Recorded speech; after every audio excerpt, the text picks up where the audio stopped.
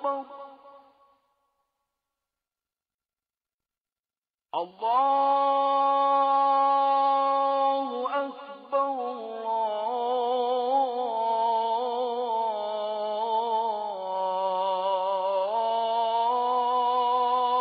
الله أكبر السلام عليكم ورحمة الله وبركاته.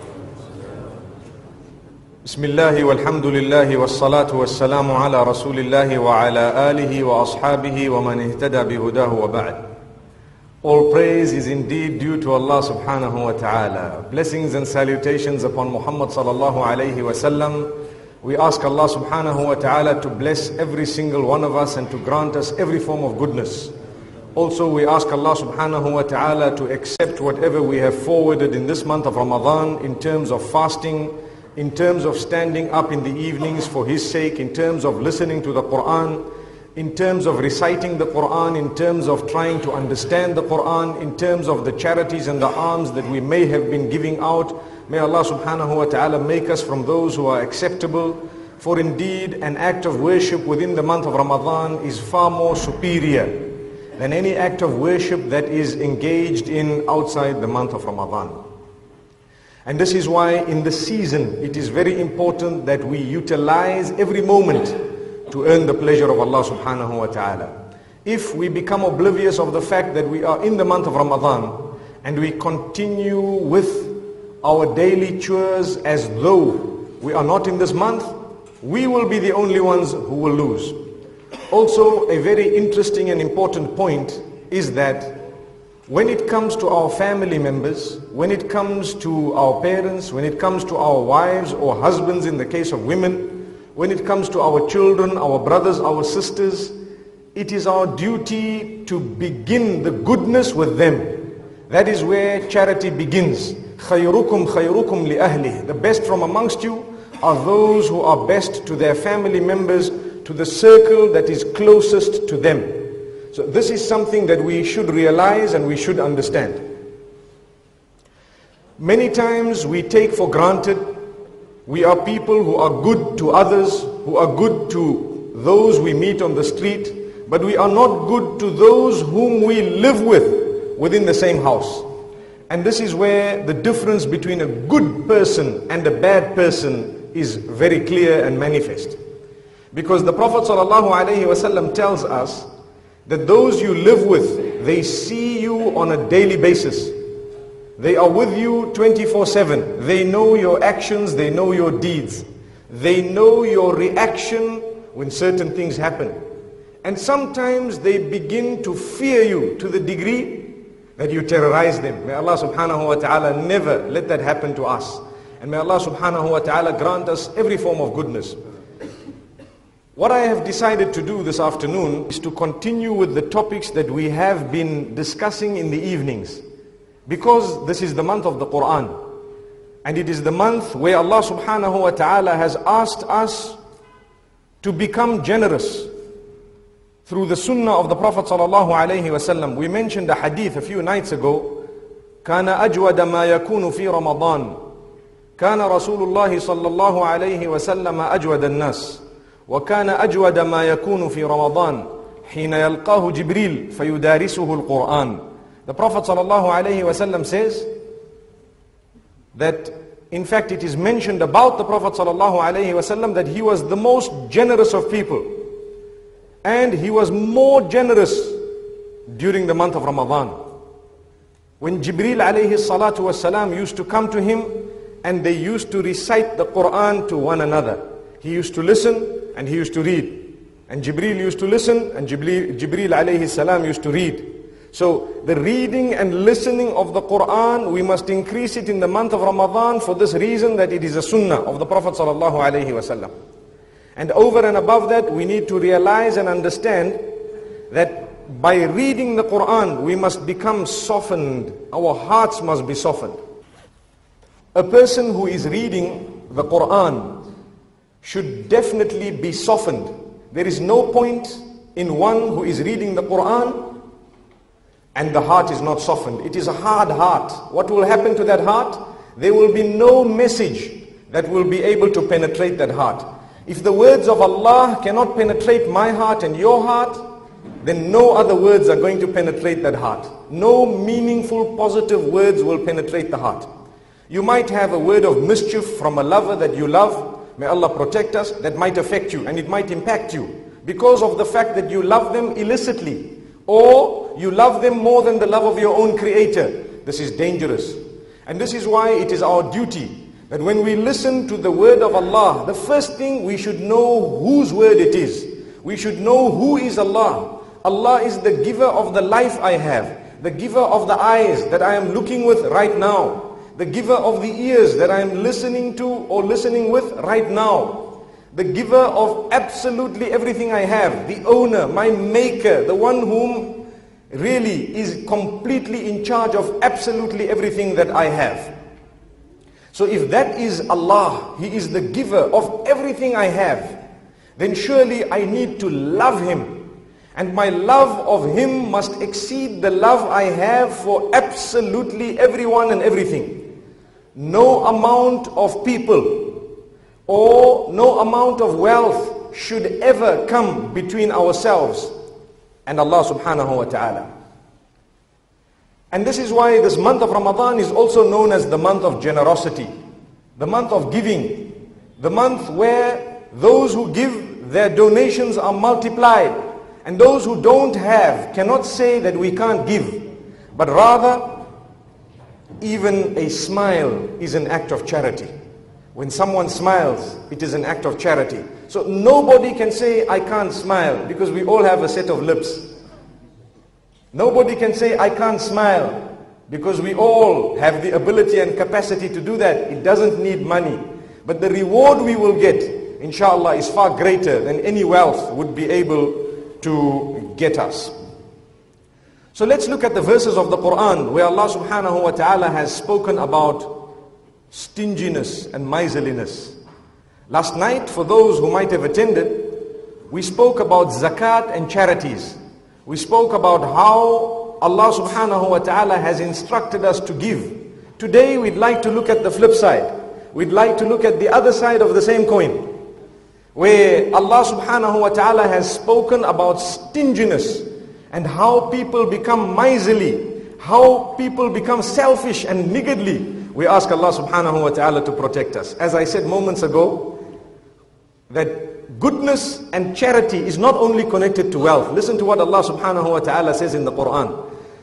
قول معروف ومغفرة خير من صدقة يتبعها أذى Allah subhanahu wa ta'ala speaks about people who give charities and then they begin to brag about that charity. Or they then become haughty and feel superior because of a charity they've given. So Allah subhanahu wa ta'ala says, no, let them all know that to utter a good word and to forgive people is far better than giving a charity and thereafter bragging about it, or giving a charity and being bad about it, or being haughty thereafter. May Allah subhanahu wa ta'ala grant us protection. In fact, in the Quran, Allah subhanahu wa ta'ala speaks in Surah An-Nisa, saying that miserliness is a type of disbelief in Allah. Because it is Allah who has given, and Allah is asking you to give back. And the person who doesn't want to give back is actually disbelieving in the Creator and the fact that He is the giver in the first place. Imagine a man comes to you and tells you, listen, I'm going to give you a million rands, but I'd like you to make a donation of five rands, or ten rands, or a hundred thousand rands from a million, and the rest is yours. And you look, you, you say, okay, you take the million, and thereafter you turn away and you abscond. Will they give you any more? They won't. And if they had it their way, they would take away that million again. Because it's a test. Allah is giving you. And Allah is telling you, look, I'd like you to give back. Solely to test the heart. Does it become connected to this wealth greater than its connection to the giver of the wealth? That's the point. Does the heart become connected to this wealth more than the giver of the wealth?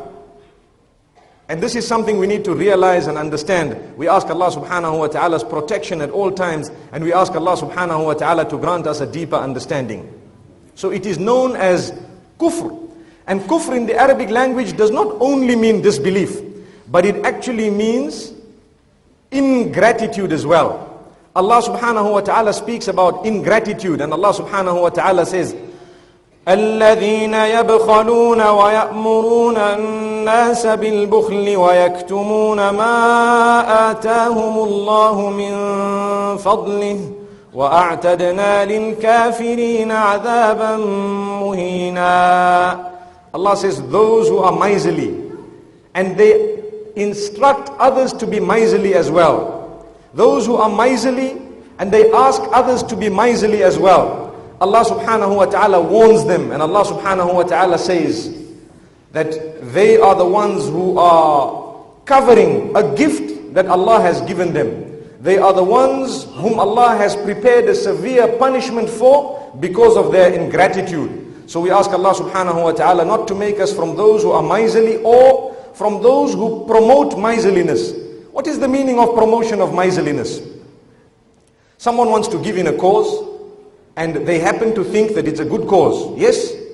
If it is really a bad cause and if we really feel that that is destruction, we may try and highlight to them that look my dear brother, look my dear sister, you are about to give in a specific cause, it's actually a bad cause. It is actually a bad cause. But if a person is giving in a good cause and just because we have a problem with the other individual, we go and block it, in that particular case, we would be promoting miserliness and we would be promoting the lack of giving, which is the opposite of charity. May Allah subhanahu wa ta'ala protect us. And Allah says, if that's the case, then we may well serve a very severe punishment against the one who is discouraging the others from giving. May Allah subhanahu wa ta'ala protect us all. Then Allah subhanahu wa ta'ala says, that being miserly is very evil, it's very bad. It is a quality that is disastrous. It will result in the downfall of an individual. Listen to what Allah subhanahu wa ta'ala says in Surah Al Imran. ولا يحسبن الذين يبخلون بما آتاهم الله من فضله هو خيرا لهم بل هو شر لهم سيطوقون ما بخلوا به يوم القيامة ولله ميراث السماوات والأرض والله بما تعملون خبير Allah says, let those who are miserly not think for a moment that they are doing anyone a favor by their miserliness. In fact, they are becoming evil against their, themselves and against their own type, which means against those who are miserly themselves. Allah says it is a point of their downfall. Let them know that on the day of Qiyamah, they will be resurrected with that which they did not spend. And it will become a burden for them rather than anything positive on that day. And Allah says, Allah knows what everyone does. This verse is obviously a strong discouragement for people to hold back. When Allah puts it in your heart to give, give. One hadith, the Prophet ﷺ speaks about the best charity. The best charity, he says, is that charity you give when you are healthy, when you are well, when you are fearing poverty and hoping for goodness. That is the best charity to give because you yourself think for a moment that, you know, I might need this wealth tomorrow. But Allah has promised you that He will multiply it for you and that is what makes you give. And this is why Allah subhanahu wa ta'ala says, that's the best charity.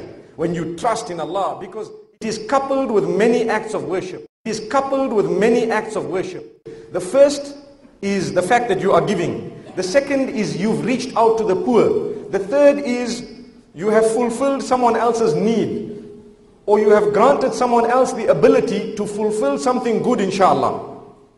And thereafter Allah subhanahu wa ta'ala says, not only that, but you have started a trend. Because when people watch you giving, then inshallah you will know and you will realize that they too will give inshallah if it is done genuinely for the sake of Allah subhanahu wa ta'ala. And this is why Allah subhanahu wa ta'ala says, that the punishment of a person who holds treasures and does not spend them. What is a treasure? A treasure is anything that you've kept, you neither want to use it, you know you, you don't want to give its zakat out, and you just want to keep it and it holds and it compiles and it actually uh, compounds for years on end and you've just held it. You never thought of zakat when it came to that treasure. That is known as a treasure. A lot of the times, gold and silver, we keep it. Or sometimes, possibly a different form of wealth. We keep it and we hold it with never ever thinking about paying the zakat of that particular wealth. And Allah subhanahu wa ta'ala warns us regarding this. In Surah At-Tawbah, Allah subhanahu wa ta'ala says, والذين يكنزون الذهب والفضة ولا ينفقونها في سبيل الله فبشرهم بعذاب أليم. يوم يحمى عليها في نار جهنم فتكوى بها جباههم وجنوبهم وظهورهم هذا ما كنزتم لأنفسكم فذوقوا ما كنتم تكنزون Allah subhanahu wa ta'ala speaks about those who have amassed treasures of gold and silver and have not paid its zakat. And remember, the ulama have two understandings of this. I think there's a little bit too much feedback. Every time I hold it up, it's okay. When the minute I put it back, it's actually giving me too much feedback. It's disturbing our concentration. So the reality is, Allah subhanahu wa ta'ala is telling us here in these verses, and I was making mention of the fact that the ulama are in two groups. Some of the scholars say that that is the any gold and silver you have. And that is the madhab of Abu Hanifa. He says, even if you are using the gold and the silver, you must still pay its zakat. That is the madhab of Abu Hanifa. And some of the other scholars, they say, no, if you have kept it without using it, then you should pay its zakat. And that is the madhab of Imam Shafi'i, wallahu tabaraka wa ta'ala a'lam. But the reality is what we need to learn from this verse is when we've kept something, when we've held something, when the year has lapsed, we should always ask ourselves, have we paid the zakah of this particular wealth? Have we paid the zakah of this particular wealth? And I think Allah subhanahu wa ta'ala will definitely bless us just by asking that question to ourselves. Just if you ask the question to yourself, have I paid zakat for this? Let me find out. That question itself is already a blessing from Allah subhanahu wa ta'ala. Then Allah subhanahu wa ta'ala speaks about how the people sometimes promise Allah subhanahu wa ta'ala. I think we've become a little bit too low now, subhanallah. It's a little bit too low, Sheikh. But it's fine, no problem. It's the month of Ramadan and inshallah we'll make do with whatever there is, inshallah. The reality is Allah subhanahu wa ta'ala is telling us that there are certain people who promise Allah, saying that if you give me, I will also spend. You know, we watch others spending, mashallah, in the, in the good cause. And sometimes we make a dua to say, Ya Allah, if you give me, I will spend. If you give me, I will do this and I will do that. Then when we get, we tend to forget Allah subhanahu wa ta'ala. That is something dangerous. It is something really that Allah subhanahu wa ta'ala is just watching us for. When you make a promise to your creator, please fulfill it. And this is why something known as an-nadru. Nadru means when you promise, when you make a vow to Allah. To make a vow to Allah, connecting it to an action is actually makruh. Makruh meaning it is detested To tell Allah, Ya Allah, if you do this, I will do that. If you give me that, I will give this for you. Allah says, I don't need you and I don't need your wealth and I need nothing from you. But if you have made a vow, it is farad for you to fulfill it. So there's the difference between the two. To make it in the first place is already an act of miserliness. The hadith says, إِنَّمَا يُسْتَخْرَجُ مِنَ الْبَخِيلِ The hadith of Rasulullah sallallahu alayhi wasallam, he says it is removed and extracted from a person who is stingy. Subhanallah. A vow is removed and extracted from a person who is stingy. Because they say, Ya Allah, if I pass my exams, I'm going to give 50 rands. Allah subhanahu wa ta'ala says, leave your exams, leave your 50 rands, leave everything, I don't need it. You are stingy. How can you come and tell me that if I do this, if you do this for me, I'm going to do that for you? I gave you everything in the first place. Your brain and the money that you want to give back. Allahu Akbar. Rather, the better way of doing it is to say, Ya Allah, I'm giving 50 rands, help me to pass my exam. Now we are speaking. Now we are dealing. We've given Allah subhanahu wa ta'ala before anything and it is not connected to whether He gives us or not. Subhana Rabbi al-A'la. So this is what Allah subhanahu wa ta'ala tells us and Allah subhanahu wa ta'ala is reminding us in a very beautiful way saying that when you give, give out for the sake of Allah subhanahu wa ta'ala. But when you promise, make sure you fulfill the promise because sometimes we make huge vows. Ya Allah, if I am cured, I'm going to read the Mus'haf five times in this particular month. Then what happens? That was too big for us to fulfill. It was too big. Now you are cured and you want to read the Mus'haf five times. You start, you read five pages, then you say, Allah is Ghafurur Rahim. Allah is forgiving. I'll be forgiven. You close the Quran and you carry on. Allah subhanahu wa ta'ala says, again in Surah At-Tawbah, ومنهم من عاهد الله لئن آتانا من فضله لنصدقن ولنكونن من الصالحين. فلما آتاهم من فضله بخلوا به وتولوا وهم معرضون. Allah says there are certain people who promise Allah subhanahu wa ta'ala that if you give us, we will give back. If you give us, we will give charities. If you give us, we will do this. If you give us, we will do that. Then when we give them, they turn away and they forget us. Allah subhanahu wa ta'ala says, they will become hypocrites and Allah subhanahu wa ta'ala may then curse them up to the end of time. May Allah never do that to us. Whenever we've promised Allah subhanahu wa ta'ala, we should fulfill it. If it was too big, we need to seek forgiveness for having made a, an oath or for having made a vow that we were unable to fulfill. May Allah subhanahu wa ta'ala protect us. Now we are speaking here about miserliness and stinginess. When people are niggardly, let us look at what the quality of a true Muslim is. True Muslim. والذين إذا أنفقوا لم يسرفوا ولم يقتروا وكان بين ذلك قواما Allah subhanahu wa ta'ala speaks in Surah Al-Furqan and He tells us that the true believers are those whom when they spend, they are balanced. Neither are they too miserly, nor do they arrive at the other extreme, which is wastefulness. Wastefulness. So today we've heard a talk saying we must spend. It doesn't mean now when we go home our children are waiting with their hands open to say, Daddy, did you hear the talk? MashaAllah, I'm waiting. No. The reality is we should neither be extravagant nor should we be from amongst those who are miserly. A true Muslim is balanced.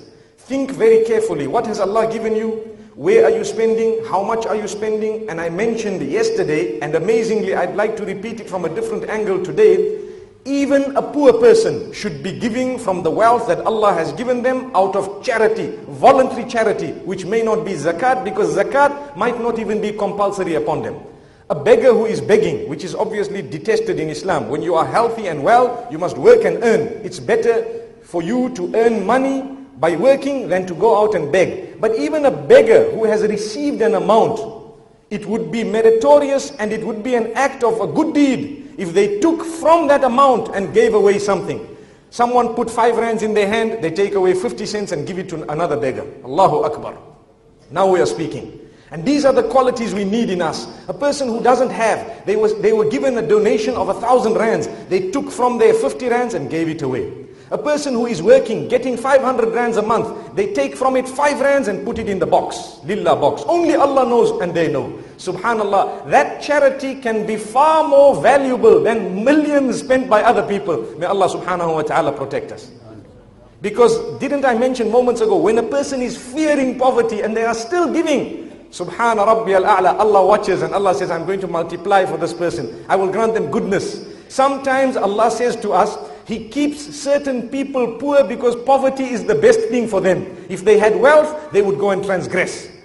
So Allah says, out of our mercy, out of our favor, we love you so much that we've given you no wealth. Allahu Akbar. Sometimes parents have to do that to their children. The son wants money. The father's a millionaire, but he doesn't give the son anything because he knows the son's bad habits. The son might go into drugs. The son might go into the casinos. On whose account? On the account of the father. He just swipes the cards and that's it. May Allah protect us all. So that is why sometimes it is a point of mercy not to give than to give. Even the Creator says that. that sometimes he doesn't give. May Allah subhanahu wa ta'ala protect us. Now I've balanced the field. You see, moments ago we said the children might be asking the parents. Now the parents can say, look, we also don't have to give you. It's a point of mercy sometimes when we don't give. We ask Allah subhanahu wa ta'ala to grant us all forms of protection.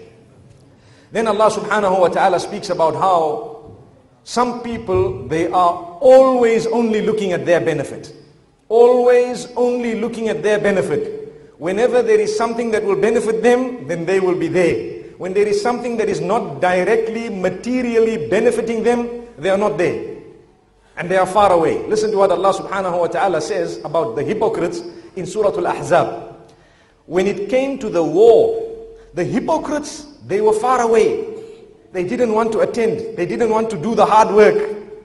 I'm sure this is going to be music for a lot of people because we see this a lot of times. Some people do very hard work. When the hard work is to happen, then there are others who are never there. And suddenly when everything is finished, they say, yes, we did this and we did that. Subhanallah. When the hard work is to be done, the son is not there. And he wants to eat the fruits of the wealth of the father. That's not fair. You need to understand if you want a share of the pie, then you definitely need to work towards it. You need to become a baker. May Allah protect us all. I don't know why when it comes to Ramadan at this time we always seem to be speaking about food. We ask Allah subhanahu wa ta'ala to grant us barakah in our food inshallah. So Allah says regarding the hypocrites in Surah Al-Ahzab, ashihatan they are very miserly towards you. O Muhammad sallallahu alayhi wa sallam. And towards you, the mu'mineen. فإذا جاء الخوف رأيتهم ينظرون إليك تدور أعينهم كالذي يغشى عليه من الموت When the fear comes, when the time to fight comes, they look at you rolling their eyes as though they are already half dead. May Allah protect us. They don't want to come. They don't want to attend the battle with you. فإذا ذهب الخوف Then when the fear goes, when the war is over and the booty is there or the wealth is there, then when, when the victory is achieved, Allah says, فإذا ذهب الخوف سلقوكم بألسنة حداد أشحة على الخير Allah says, then they come to you with those solid tongues of theirs. They want from the goodness. They become miserly towards themselves. Now, so it's the other way around. Now they want all the goodness and they want a share of the bounty, of the booty. Sometimes you have a business, partnership between two people. One does absolutely nothing. And the other one is sitting doing all the work, hard work, morning to evening. And when it comes to the end of the month, the one wants all the accounts. Yes, it is. If it is a dormant partnership, it's a different story. But we're talking of an equal partnership here.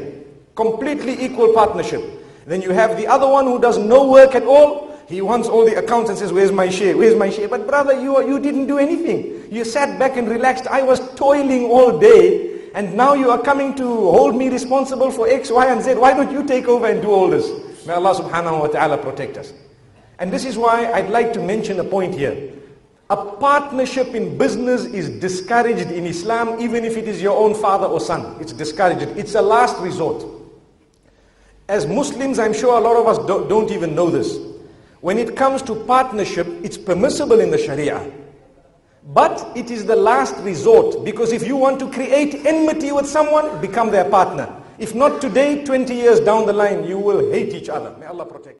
Even if it's your own father or your son or your brother.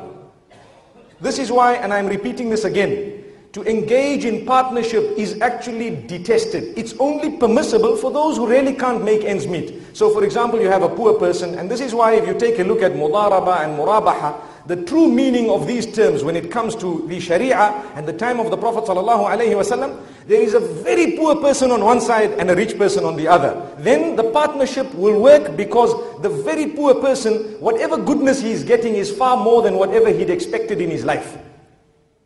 But when you have two rich people, they want to call it a mudaraba. You have two wealthy people, they want to call it uh, murabaha and so on. Yes, it might be permissible technically speaking, but why did we enter in that partnership? Is it because we want to amass further? Rather we be on our own. And this is why when people pass away, it is very important that the inheritance is distributed as soon as possible in order to remain with the love intact. If you want that love to be degenerated over time, then stay together. Stay together and you will see how when your children come and your children's children's come, the cousins won't be talking to each other. Because of five rands that the grandfather forgot to separate. May Allah subhanahu wa ta'ala protect us all. And this is a fact and it's a reality. And this affects almost all of us in one way or another. So we ask Allah subhanahu wa ta'ala to grant us protection. We should not be miserly in that regard. Then Allah subhanahu wa ta'ala speaks now about a different level. I told you moments ago, a true believer spends, but is not wasteful and doesn't hold back also. Whenever you have to spend, you spend. But there is another level of the Sahaba radiallahu anhum that Allah subhanahu wa ta'ala speaks about in Surah Al-Hashr. And Allah subhanahu wa ta'ala says about the, the companions of Muhammad sallallahu alayhi wasallam. Before I say this, I think it is only befitting their level that we make mention of who they were. There is a hadith where Allah subhanahu wa ta'ala says He looked at the souls and He selected the best soul and He made it the soul of Muhammad sallallahu alayhi wasallam. Then He selected the best of souls and He made them the souls of the prophets of His. Then He selected the best souls and He made them the companions of Muhammad sallallahu alayhi wasallam. So if I would like to know and you, who were the best people to tread this earth after the prophets? They were the companions of Muhammad sallallahu alayhi wasallam, starting with Abu Bakr as-Siddiq radiallahu anhu. And that is the gripe we have with the Shias. What is the gripe? The gripe is, we believe as Ahlul Sunnah wal Jama'ah that Abu Bakr as-Siddiq radiallahu anhu was أفضل من مشى على أديم الأرض بعد الأنبياء. He was the best to tread the earth after the prophets of Allah. Sallallahu alayhim jami'a.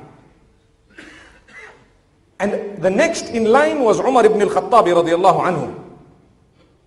And when it comes to others who have different beliefs altogether, like the Shias, they, they then believe that no, Abu Bakr and Umar, they were cheaters, they weren't right, they stole the Khilafah from Ali radiallahu anhu. Ali was the one who was supposed to be so. In Islam, that type of monarchy does not exist. May Allah protect us. Where it stays in the family. No, Ali was part of the family. That is why he should have been there. No, radiallahu anhum. We respect Ali, radiallahu anhum. And we honor him above our heads, mashallah. But at the same time, whatever is right needs to be uttered and it needs to be said.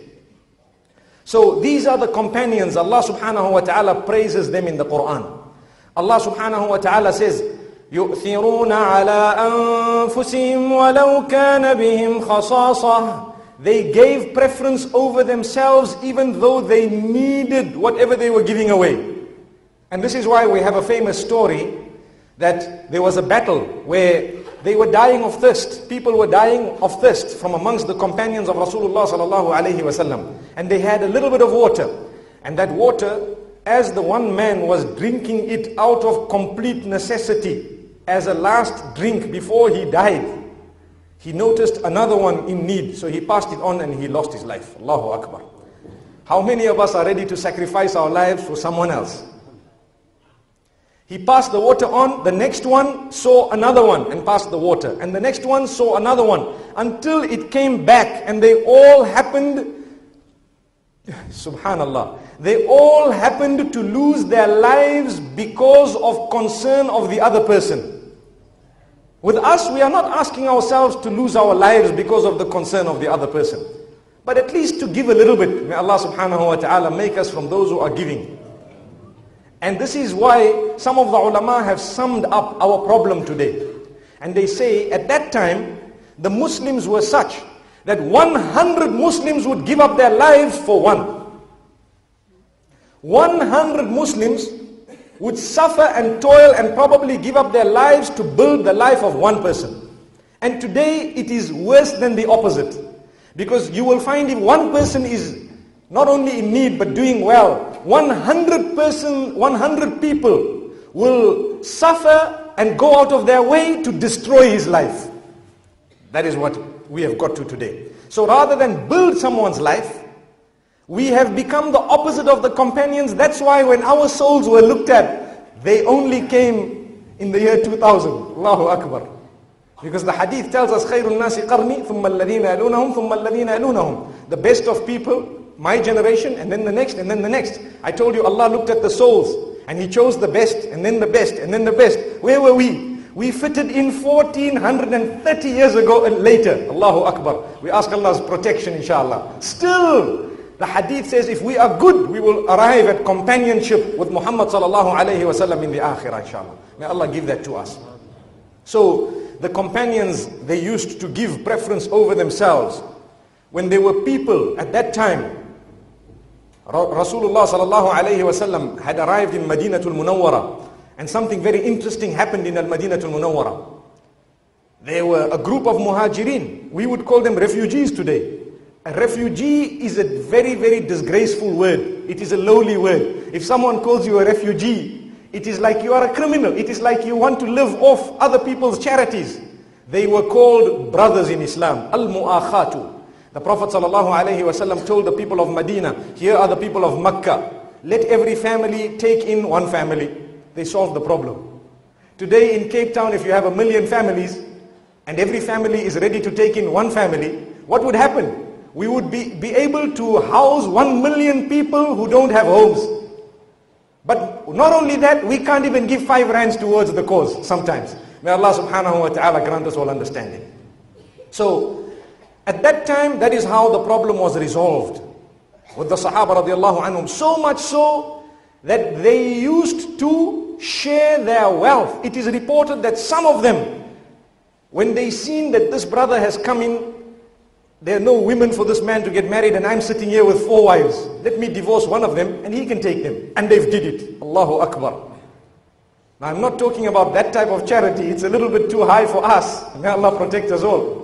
In fact, if we've got one, we probably want another and a third and a fourth. Rather than giving up that one, may Allah protect us. And sometimes we have a man shaking his head when we say this. Say, no, even that one, you can take her, it's okay.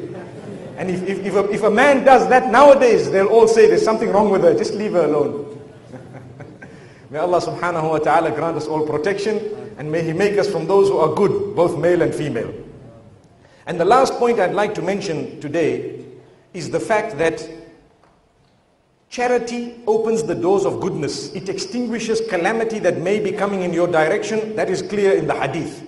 The opposite is true. That when you are miserly, then Allah makes your life difficult. Listen to what Allah subhanahu wa ta'ala says in Surah Al-Layl.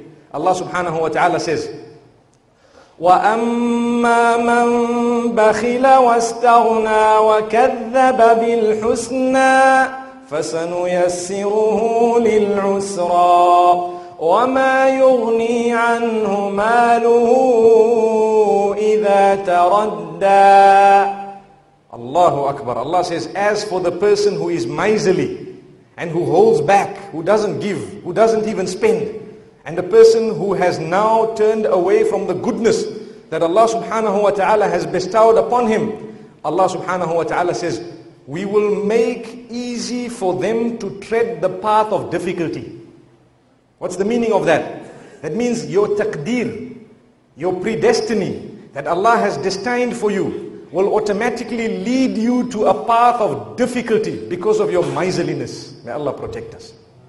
Whenever we are suffering some form of evil, we are taught to give out a sadaqah. And we are taught to give out a charity even before we suffer the evil. I made mention of it last night that when before we go on a journey, we give out a charity. When we are going in for a checkup, for example, give out a charity. Not now you say, Ya Allah, if everything is right, I'll give a charity. No. And so on. So we are taught to give. Allah says, those who don't give, those who are miserly, Allah says, we will naturally make them spend their money on other things.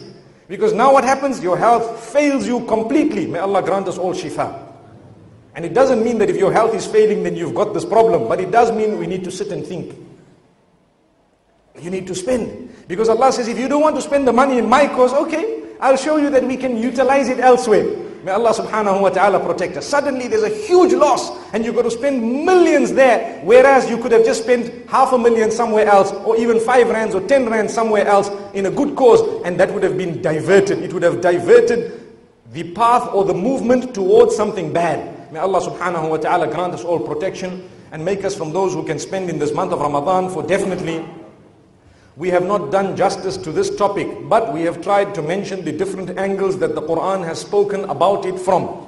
And the reason why we mention this in the month of Ramadan is because this month is the month of giving. It is the month of giving. Some might think, no, it's the month of receiving. Yes, subhanallah. Even if you've received something, give from it. Even if you've received something, give from it. And that is the winner.